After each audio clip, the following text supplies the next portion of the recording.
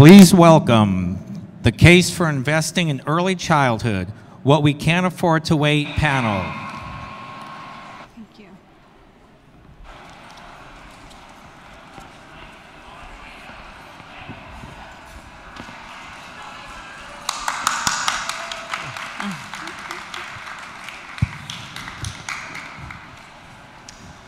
So the of being on the main stage is it's the main stage, and the curse of being on the main stage is it's the main stage. so I would like to encourage everybody to make this feel a little bit more intimate. So rather than scatter yourself through a large auditorium, try to focus a little bit closer, and I'm actually serious about that. So please come on forward when you get a chance. Um, welcome. It's great to be back at SOCAP. Fantastic to be back on the main stage. This time I have the distinct pleasure of moderating a panel of deep experts in the world of early childhood education and investing in child development.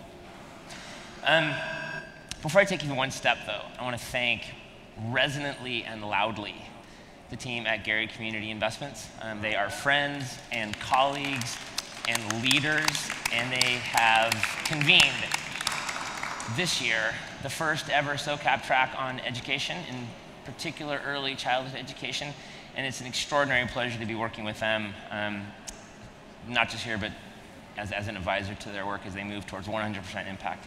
Um, a quick moment of self-introduction. My name is Matthew Weatherley-White. I'm a co-founder and managing director at the Caprock Group. We're a multifamily office focusing on primarily families with an emphasis on impact investing. We've committed over a billion dollars in impact capital over the last decade, um, and we've had a lot of fun doing it along the way. More germane to this conversation, I'm also a co-founder of a nonprofit in Idaho focusing on children with learning differences. And we've invested over $30 million in Idaho over the last 20 years. So it is with a clear and visible and endearing to myself interest in this subject and my pleasure to introduce my panelists today. Um, when the Gary Community Investments um, chose to focus on childhood resiliency, they did so with initially a sense of responsibility. But more recently, their board of directors challenged them to be more risky, more innovative, and be more challenging to orthodoxy, particularly in the world of investing in children. And as an aside, how many of you have ever heard of a board of directors at a pool of philanthropic capital telling their programmatic officers and their investment officers to be more innovative? Very, very cool.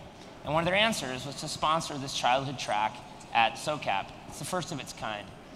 And the track will braid together the four axes of investing in education in early childhood. First, the moral imperative, the idea that every child deserves an opportunity to access the best education that a civil society can provide. Second, the scientific rationale. The more we know about brain science, the clearer the case becomes for investing in brain development. Third, the economic justification. Return on investments for early childhood investing is among the highest available due both to the long tail positive results, government savings, and clear benefits related to market demand. And then fourth, the financial opportunity. As science, policy, and cultural awareness begin to fold together, opportunities for entrepreneurs and investors expands exponentially. In this panel, with experts in each one of those braided imperatives will frame these issues, will ground all of us in the challenges, and will point to a set of answers and solutions that sit in so many ways at the very heart of what impact investing stands for job creation, local food systems, education, healthcare, opportunity equality, et cetera, et cetera. For when one invests in children, one is inevitably investing in the future. And what is impact investing, at least from an abstract conceptual perspective, if not investing capital today to create the world that we all want to live in tomorrow? So, to the panel. On my far right, Judy Cameron is a neuroscientist at the University of Pittsburgh and a CEO of a recent startup working for kids. Dr. Cameron's research has shown that early life experiences not only change a child's behavior, but they changed the structure of the brain. And we saw that referenced in the, the, the, the, man who spoke about the Watson and early childhood education intersection. That was a fascinating, uh, fairly brief, but really powerful presentation that he did. Um, she has been a member of the National Scientific Council on the Developing Child for the past 15 years, and in this capacity, she has spoken with most state legislatures in the country about how important experiences are in shaping brain development. Her new company has developed educational materials to translate this message to the public, especially to those with low literacy, using fun, hands-on learning activities and games. Rob Grunewald is an economist with the Federal Reserve Bank of Minneapolis. He conducts research on community development and regional economic issues. In 2003, he co-authored a landmark paper called Early Childhood um, Development, Economic Development with a High Public Return. And he has written several subsequent articles on the economic and social impact of early learning. And then Amy Klement, in the middle, is a partner at Omidyar Network and leads its education initiative globally. Omidyar Network has invested over $100 million in education to date, roughly evenly split between nonprofit grants and venture investments in early stage for-profit education companies. Previous to Omidyar, Amy was part of the early team at PayPal and ran product, user experience design, and project management, and then held similar roles at eBay after the acquisition. She is passionate about blending her product and technology expertise, expertise with her commitment to improving education quality. So what we're going to do here, and I hope to do it well, is to weave the worlds of brain research, economics, and finance together to give you a sense of the opportunities available for investing in childhood development. Opportunities that you can explore and pursue in a wide array of smaller sessions that will be threaded together by this education track over the coming days. And in so doing, we will lay the groundwork for new actors to enter the education space, for experienced early childhood investors to think about their approaches with a more informed set of lenses, and to bring to the conversation a breadth of experience that reaches far beyond the typical capital markets response. So, to set the stage, Judy, I would like you to explain to us what investing in children and education is really about. Okay, well, I brought with me a six foot brain, and you probably would like to have one too. At least I hope you would. So, we at Working for Kids use this as a tool to teach people about brain development. Lots of people think the brain just develops, you don't have to do anything at all. And it's controlled by genetics. So, what I'm going to do is tell you what genetics do and then how life experiences affect brain development. At the time a baby is born, they have essentially all of the brain cells they're ever going to have. And I like to use my hands as a model of brain cells. So, all over the brain, there's brain cells sitting there ready to learn and do what they're supposed to do. What happens when the brain develops? Well, each of the cells reaches out extensions, and that's what's genetically programmed and connects to each other. You have a billion brain cells, you have a lot of connections, and you would think that the connections would stay.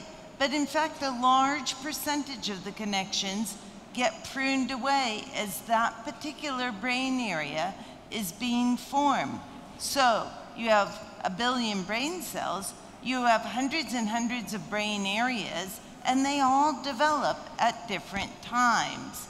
The key question is what causes some connections to stay and the other connections to get pruned? And that's what's important to you. It's experience. The connections that get used the most stay. The connections that don't get used very much have a higher probability of being pruned.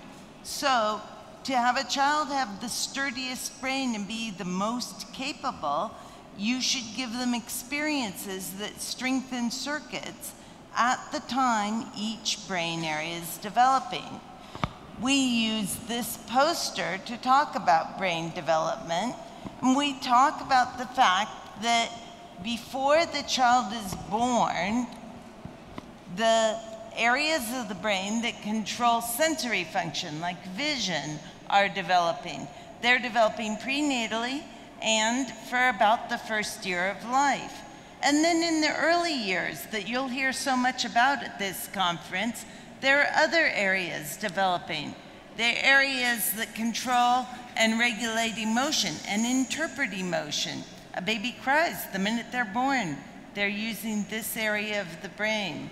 You have areas that control language and talking, areas that control moving and all motor function, like playing music. These are developing from prenatally till about five to seven years of age. So that's the period of plasticity. And then, very interestingly, you have a part of the brain that really starts developing at birth, but continues to make connections till about 11 or 12. And the pruning process goes on to 25 years of age. So when you take an 18 year old and that you say, they don't seem like they're adult, well, their brain is not adult. They still are going to strengthen and make connections until they're 25. How does making connections work? What do experiences do? Well, we have very sophisticated scientific material here with us. Yeah. So, if you want to have good circuits for reading, then we know that it's good to read to children and to have them read. So, every time you introduce a child to reading, you're making connections between the visual areas and the areas that control language. Now, you don't just have to do reading a few times, it needs to be over and over and over again to make really strong connections that'll last. How much is enough? Well, I have lots of people who ask me, can I read to a child every day during the plastic period. I'm there. Well, that would be great. They're making connections for about seven years, times 365, about 2,500. You're way short. You need about 10,000 repetitions to make a really strong pathway. So you have to make reading so exciting that they'll read by themselves, they'll read with their friends, they'll read and read and read and make a strong pathway they'll then have rest of their lives. It turns out that everything that children do makes strong brain pathways, whether you as an adult intend for it to happen or not. Let's think of a child growing up in a situation where they're dealing with a lot of anger. They become expert at recognizing anger. And then most children will get out of the way so that they aren't the brunt of the anger. And if this happens regularly, they'll make really strong brain pathways for this. This is really protective for the child because it keeps them safe. They recognize anger, they get out of the way. The brain is doing a good job. But it has long term repercussions. They're going to be experts at recognizing anger all their lives they'll see more anger in the world. They'll develop health consequences of seeing more anger. And then we have this front part of the brain, and it connects to all the other parts of the brain. With luck, you learn to control your emotions. So the front part of the brain's involved in complex reasoning, problem solving, inhibitory control. So even though we may all get mad occasionally at meetings, we don't lie down on the floor and have a temper tantrum, right? That's right. So the front part of the brain is working really hard when that happens. It also allows you to reinterpret what you see and with luck, reinterpret what you do. So that is a quick summary of how the brain develops. Judy, thanks for that really helpful as we think about investing in children to think about from the groundwork of brain development rather than necessarily point solutions around food or ed tech. yes, and the fact that it's a long term continuous process. Yeah, really, really helpful. Thank you. So, Rob, I'd like you to take the conversation from the scientific to the economic. In particular, I'd like you to reference the work that you've done around the return on invested capital investing in children and community development. Sure, be glad to do that. Um, to start with, a little disclaimer, the comments I make today are my own, not those of the Federal Reserve or my colleagues at the Fed.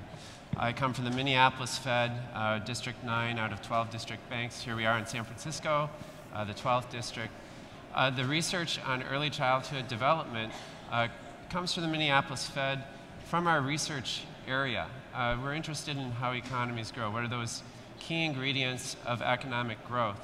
And of course, developing human capital and the skills of a workforce are what is a key to producing a strong economy. And what we've really got to know as economists, especially over the past 10 to 15 years, is the impact that the early years have on the long-term development of those workforce skills. So Judy has set it up brilliantly.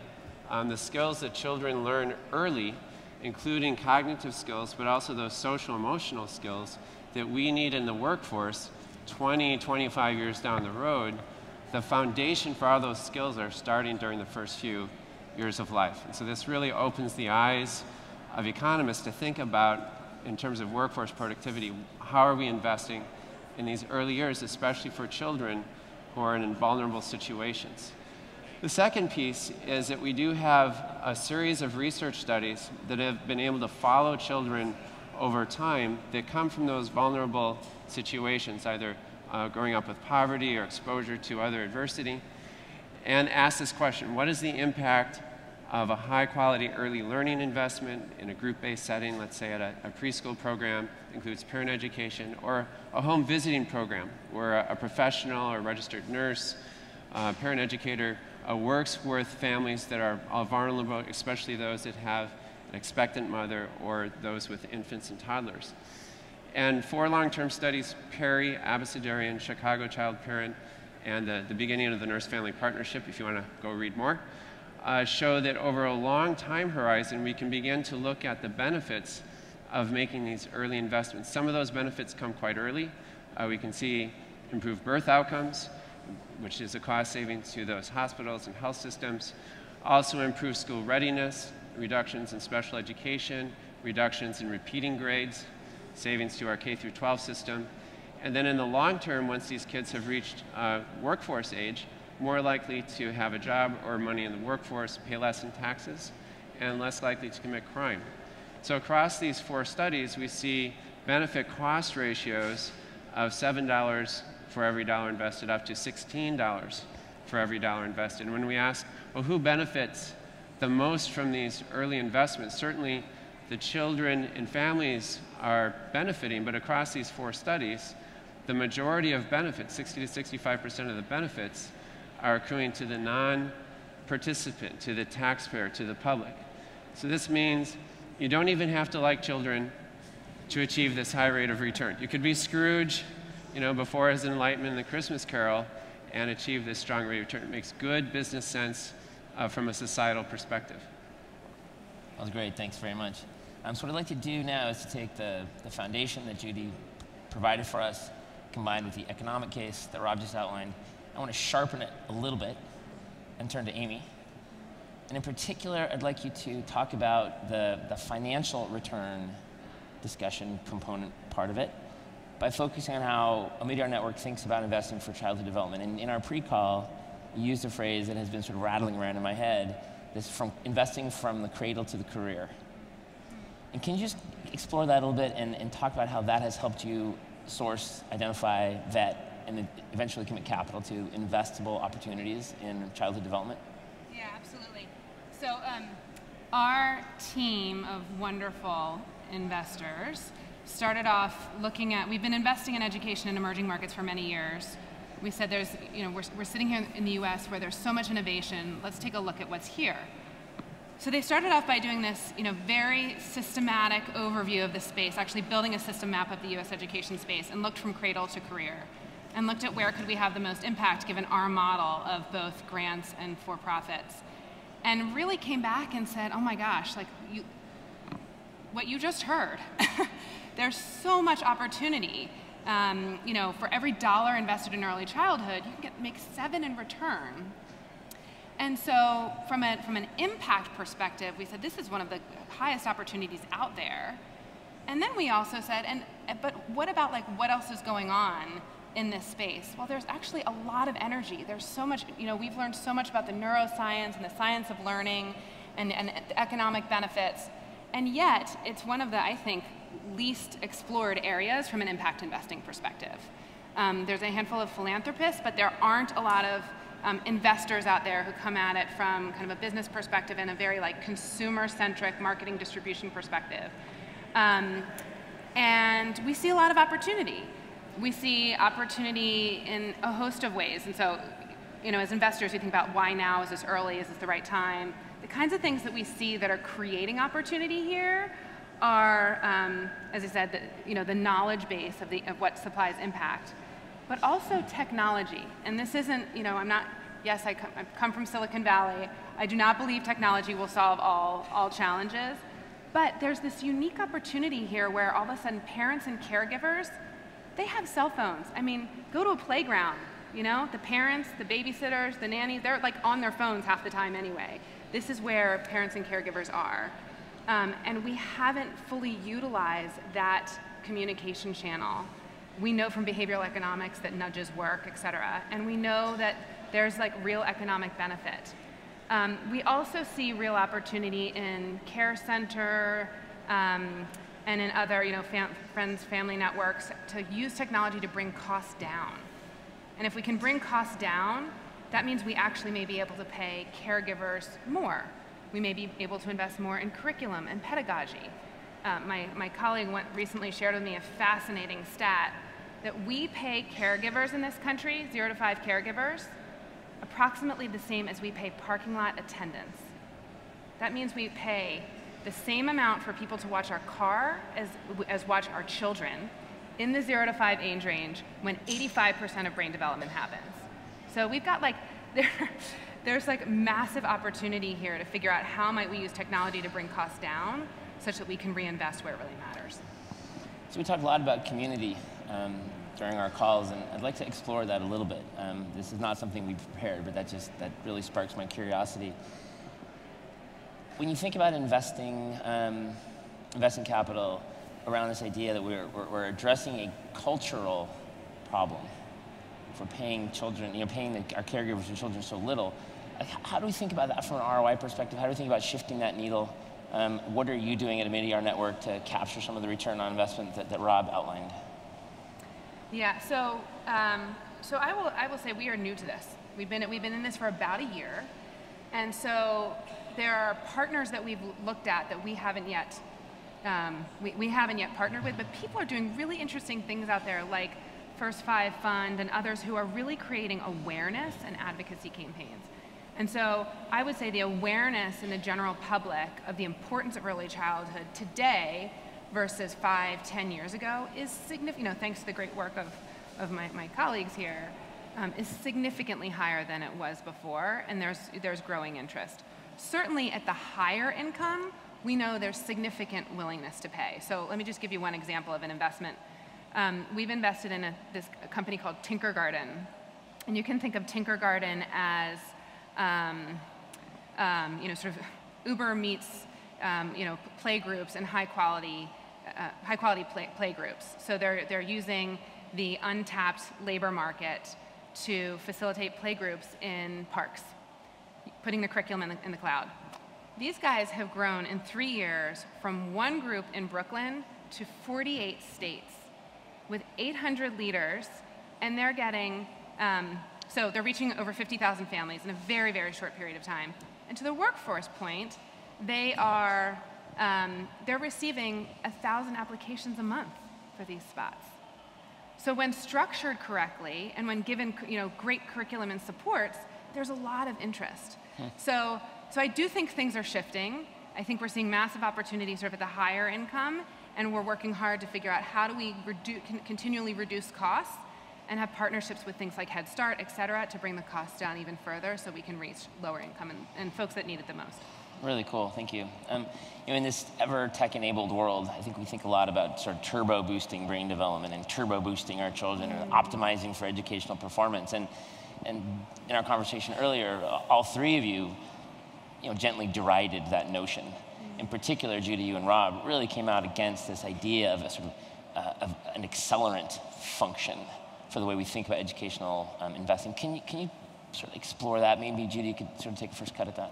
Yeah, I mean, I think that if you have a child that's getting really positive interactions and they're being encouraged to read, they're being encouraged to use language, they're getting a lot of use, so they're building strong brain pathways at the time that brain areas are plastic you can't do better than that. You really can't supercharge that system. If you're doing a good job, that's great. The problem is that so many kids in the world are not getting that. They're living under circumstances where the adults around them are distracted by lots of other things, by poverty, by drug abuse, by not being present because of war, or they've gone to prison. So there are a lot of children that are not getting the kind of encouragement that is needed for them to use brain pathways a lot. So I think it's really exciting that you can reach higher income kids with some of these things. But the real need mm-hmm. is to reach lower income kids and kids living in really stressed communities or war zones. It was sobering what you said. I'll, go back to this. It was sobering what you said um, in your introductory comments that even a family that reads to their children every single day is only a quarter of the way to those 10,000 interactions. Exactly. Right? So how like how do you address that? I mean, I'm think, I'm sitting here thinking to myself, well, I read to my daughter every single night, and it's one of my personal pleasures. But wow, that's not nearly enough. I just learned that's not nearly enough. So how like how do I deal with that? Well, so you really have to tailor learning to every single child. That's incredibly important. And it's why having high quality childcare, which I think we're going to get to in a few minutes, matters you need to tailor the intervention to the child. So my oldest daughter loved to read books about dinosaurs. So we had tons and tons of books about dinosaurs. And she read them, then she read them to her stuffed animals, then she read them with her friends. That was great. My son, he hated reading. And I thought, oh my gosh, what am I going to do? Well, I decided that I would find books that I hated. And you might be thinking, well, how does that work? Well, he thought it was hysterically funny if I hated to read a book. So he would hide that book in the stack every night. And pretty soon, there were all sorts of books I hated. And we had a big stack of books that I was forced to read. And he had a ball. So I think you have hmm. to customize to the child. And that takes a lot of brain power from adults. Really interesting. So Rob, can you talk a little bit about that as well? Sure. I, you know, just to build off this, this last comment um, by Judy, uh, th this, is, this is an area that's certainly ripe for more investment, uh, but it is very labor intensive. It's an area, especially for vulnerable populations, of how we empower parents uh, with their role as parents and their first teachers of their children, how we empower the professionals, uh, whether it's in health and nutrition or in our childcare programs, uh, with skills and capacities to be able to address very challenging situations with children and families. And, and as noted, they're all, you know, the, many of them in the profession are underpaid. Why are they underpaid? Well, the benefits uh, from this sector, as I mentioned before, are largely public. And therefore, we have in economics what we call a market failure. There, is, there are benefits that are accruing and spilling over from making these investments, especially for vulnerable children, that accrue to all of society. So there's roles uh, for impact investing and certainly government to step in and to support and to really build up uh, these different structures, this different infrastructure. And as I mentioned, it's labor intensive. And it requires a value adjustment in our society to put more resources to attract higher educated employees that have skills and training and that we are paying them so that there is lack of turnover and we are fostering human to human relationships with caring adults and young children because in those relationships is where the brain development is happening, where it's, where it's enriching. We can wrap a lot of technology and strategy around that structure uh, to help it, but at the end of the day, we're talking about human relationships creating, at, at the end of the day, very high economic value.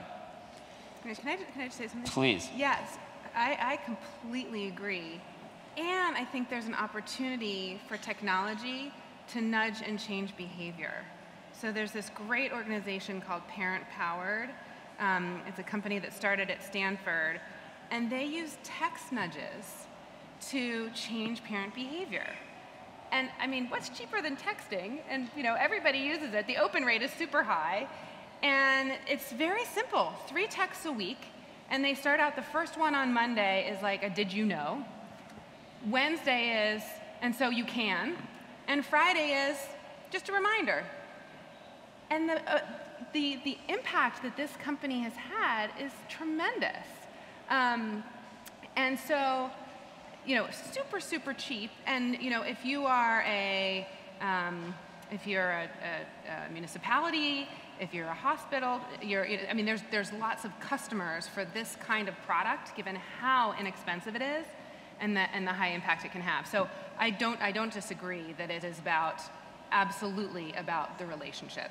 It's, it's 100%. A, it's a and, I, th- and yeah, I think there's an opportunity and. for technology to remind and help foster those relationships. Mm-hmm. Certainly. You know, I've used the phrase um, in one of our conversations is responsive relationships. And I want, to, I dig into that for a second. But you also used a phrase a second ago that I bet everybody in this room picked up on, which was market failure. And as an investor, I'm always interested in market failure because to me, that's all about mispriced risk, right? And as an, as an investor, I'm hunting mispriced risk.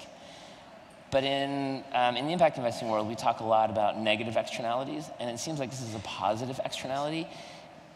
And of course, as an investor, I think, well, you know, how do we internalize that um, positive externality so as an investor I can capture it? But I'm not sure that's actually the right question. But how do you think about enticing commercial capital to come into a space that has all these positive externalities that to date are not being captured by the investor? Like, what's the, what's the investment case there? Mm-hmm. Yeah, sorry, you've, Matthew, you've, you've, de- you've described it perfectly. There are positive externalities that are here for society to internalize. And they're societal in nature. Uh, we see them in terms of reducing costs to government. We see in the long game increasing productivity for the whole economy, which can be a benefit to businesses as well. So I, their strategies from the social impact investing side is to come in and look at ways to be able to focus in on areas of potentially lower hanging fruit to show our public sector that you can actually make an investment make a difference and expand some of those investments. So for pay for, um, pay for success uh, contracts is an area that is being used in early childhood, such as expanding home visiting or preschool. There are other areas that we could look at in health and nutrition in which social impact investing could come in, make an upfront pilot project, show the benefit, and, and actually accrue return in contracts with government, uh, and be able to move those type of investments forward. So we could get into a, a more technical discussion about what those type of uh, business areas might be. I'm, I'm going to be around the next two days, so we could happy to talk about those. So I'm going to indulge my own curiosity here for a second, and I hope you guys don't mind. But we have a scientist, an investor, an economist, and we're just talking about the potential for internalizing into the capital markets what heretofore have been positive externalities. Which, like I said, I'm not sure that's even a really good idea. Like there's something really noble about the idea of investing for extensive, long-term, long-tail positive externalities. And should we, as investors, seek to capture that for our own balance sheets? I don't know. So I'm going to ask, just like a poll almost, among the three of you. What do you think? Like, is this something an investor should be trying to capture, try to capture that positive return for our own IRRs? Or should we, as impact investors, be willing to take, take potentially concessionary returns in exchange for what are clearly evident, measurable societal benefits. What do you think? I think there's potential for huge return, and I'm not the economist in the group, but um, you look at what happens when children enter school not ready to attend school because they've seen a lot of adversity and haven't strengthened brain pathways they have trouble in school, they don't progress, and eh, once they get to be into middle school, they're very likely to be in trouble with the law. They're having trouble controlling their emotions. That's another thing that's learned. So Working for Kids is doing a huge amount of work with the juvenile justice system, The juvenile justice system actually has a very bad um, uh, way of dealing with this. They tell them this is a bad thing to do and you should stop breaking the law, and it doesn't work. The recidivism rate is extremely high and they come back. What if we strengthen brain pathways in the teenage years so that they would be better at self control, inhibiting their first inclination, long term problem solving? Those would be positive move forward. It would keep people out of prison, and that would save a huge amount of money. They'd go on and be capable of getting jobs and being a part of the market workforce. So to me, I see a lot of return. The way I would say is the, the role for impact investing, and there's a couple roles. The first is recognizing in terms of partnering with government, is the incentives in, in government are essentially to be relatively risk averse and not you know, necessarily push out on the edges of innovation. And that's where social impact investing can certainly step in and be able to provide examples of where innovation can make a difference. Also recognizing that in the early childhood space, while certainly there is room for more investment in health and nutrition and early learning, there is already a lot of money there that could be spent better, focusing in on quality, targeting resources to children uh, with specialized interventions that will help them. For example, uh, child protection system is a system that treats all children in a, a, relatively similar framework.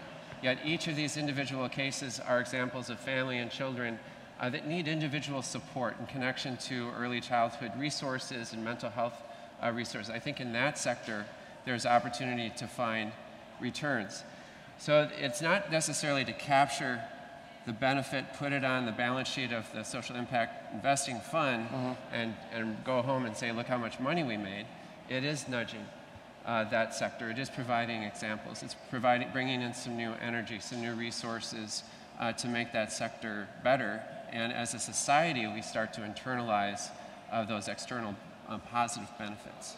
I mean, this is such an important message, right? Because as an investor, I'm always thinking about doing exactly what you just said we shouldn't be focusing on doing, which is saying, look at all the money I'm making. It's, and yet, my instinct as a capitalist, right, is to figure out a way to Rubik's Cube this problem so that my clients, our investors, can make a market return while creating these durable, long term, positive social benefits. So, Amy, you're right at the intersection of that, right, with the Omidyar Network, where you do concessionary capital investments, you do PRIs, you do MRIs, you're also commercial actors. Like, how, how do you resolve that tension within ON? Yeah, it, um, so I will say it's not, it's not an easy one, right? And if you look at um, the way, you know, most of our society is set up outside of these walls of beautiful walls of SOCAP, um, you know, public companies are incented to the next, you know, for the next quarter.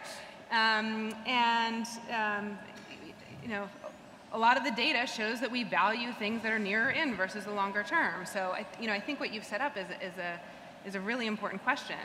I think as impact investors, and particularly foundations doing PRIs and MRIs, um, you know, the, the way that we come at this work of impact investing is not so that we can make a return. It's so that we can build sustainable, scalable change. Hmm. Right? Wait, so and, let me push and, on that so a second. So, so, you do not care about the return no, we, No, we, we absolutely do because if there's no return, if there's no, if there's no return, if the company has failed, mm-hmm.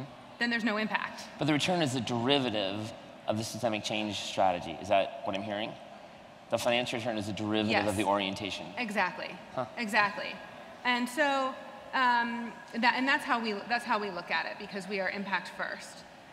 Um, but we also look across the spectrum. We have, we have absolutely commercial return investments, and we have some that are slightly lower. We did a piece in um, social, uh, Stanford Social Innovation Review called um, Investing Across the Returns Spectrum. That was really good, which, by the way. Which, which highlights this. And, and, so, and so the question is, is when you're investing in, in companies that you think will return lower than commercial returns, why is that? And you have to be really, really rigorous right? Because it can't be because it's a crappy business, it's a really small market. Well, then, like, as impact investors, why, why are you investing there? The question is, is, you know, why is it lower returns? And typically, when we invest in something lower returns, it's because we, it's catalyzing a market. It's the very early stages of a market, and we think it's going to take longer. It's going to require more patience. Um, you know, the market doesn't exist yet. What is the market return for, you know, microfinance in Liberia and Sierra Leone? It doesn't really exist yet. Yeah. Um, so. so we've um, we've explored what we're really doing here right? We're investing in children. We're investing in brain development, and that brain development extends far beyond the classroom and far beyond the application of education technology. We also have learned very clearly why we are investing in the early years. I don't know if you remember the chart that, and I'm embarrassed to say I can't remember his name, but the guy that Luis introduced, Sandhya, the chart that he, he put up where there was the green line which showed brain growth, and then there was the blue line which showed accumulated education spend, and then there was the yellow line which showed timing of education spending. And at no point did the education spend line up with the period of brain growth. Talk about a market failure. um, so we know why we need to invest in earlier years. And we have a framework for how do we think about that. So the question that I have, how can, is, how can businesses, how can businesses play a role in informing the communities, those those connected caregivers, the, the phrase that you use, which I the responsive relationships. Thank you, the responsive relationships. How can businesses play a role in informing those responsive relationships about the science, Judy, that you so clearly and beautifully outlined for us? What, like, what are our collective thoughts on that? Can I start, Amy, with you? This time I'm going to put you on the spot. Since you do most of your work with businesses, how do you think about businesses? The nudge thing was a great example, but what, what else are you looking at? Yeah, um, so um, we talked a little bit about Tinkergarten. We talked about parent-powered. Um, but more so, of a how, rather yeah, than like. You know, I was, I was I was also just thinking of some sure. examples to make it more tangible. You know, at the end of the day, um, all parents want their kids to be successful. All parents want their kids to be to be thriving and to be um, um, as well positioned in life as possible.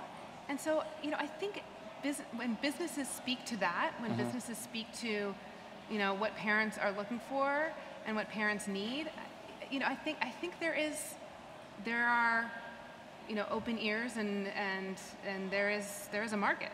Mm-hmm. And Judy, you're building a business on this notion. Yeah. So. So we market educational materials, but we're constantly trying to come up with new things that adults in the community can do with children that would strengthen children's brain pathways. So hands-on learning and activities is really important because in these populations, there's relatively low literacy levels and not good access. They do have phones, but there's not good access to computers, um, to books.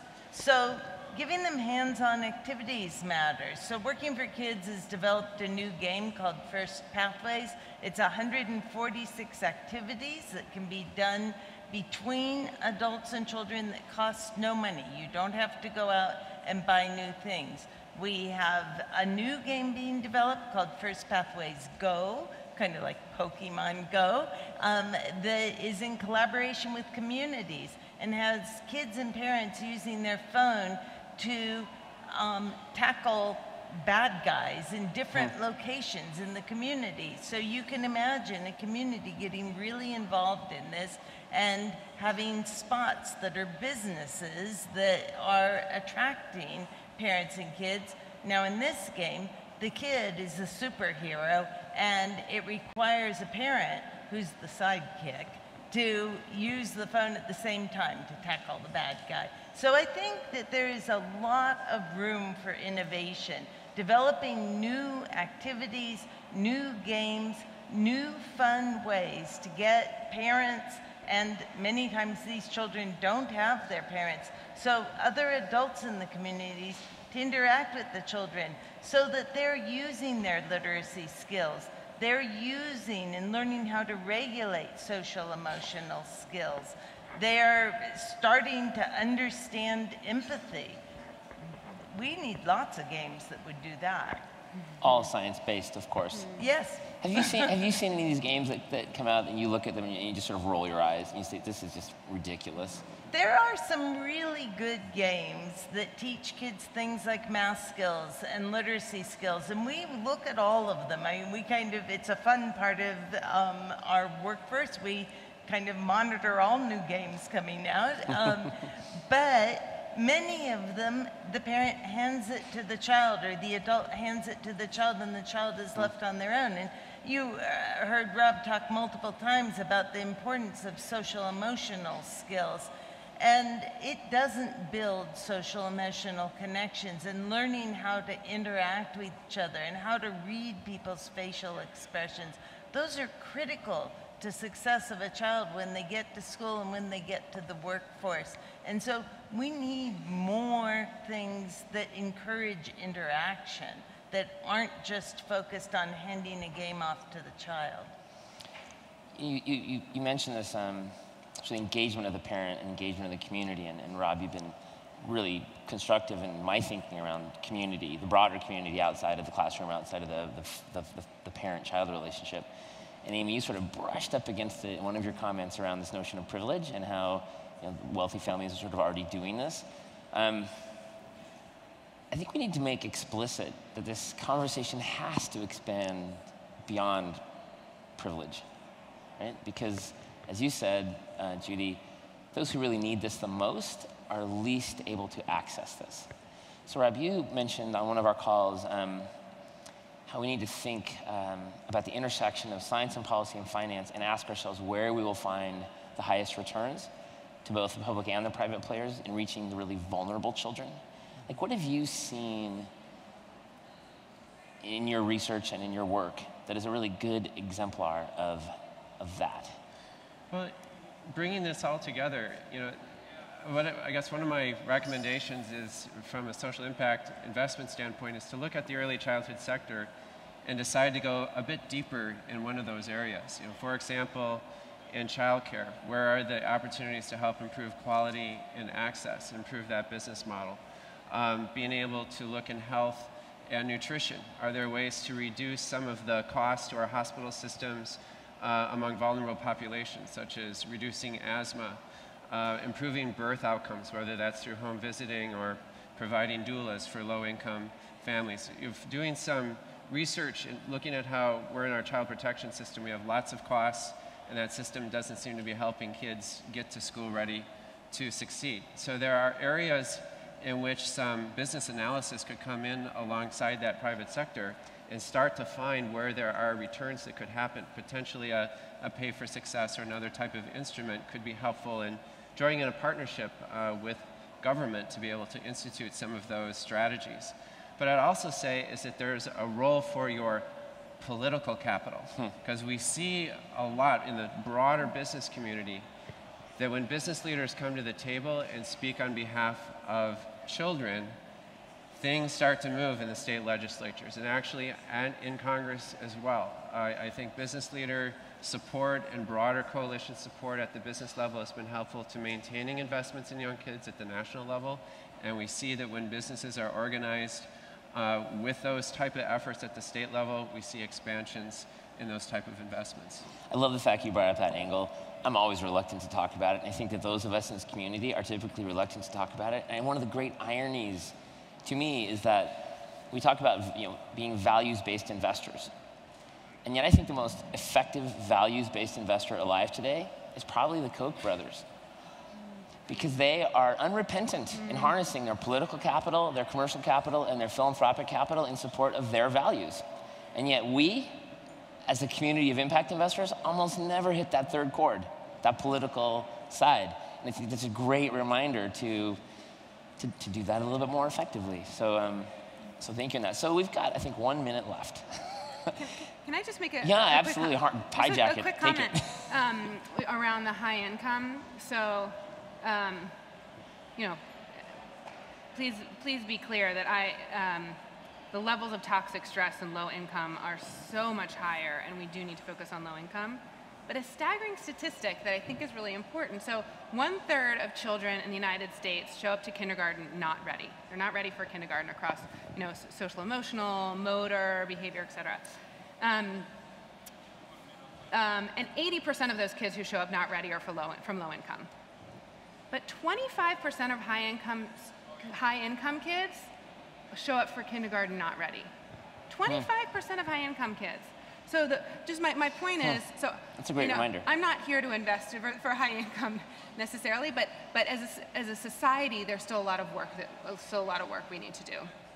That's great. So um, I could certainly close this down, but I would like for each of you to have an opportunity to say like the one primary takeaway from your work, be it brain development or, or, or ROI to society or whatever, just a, a like a popcorn come to mind? What's the most important takeaway for each of you from this hour so that we can plant the seed of curiosity for new investors and we can encourage everybody in this room and hopefully more people than this to attend some of the breakout sessions on education to develop a much deeper and richer understanding of the opportunities in this, in this, in this space.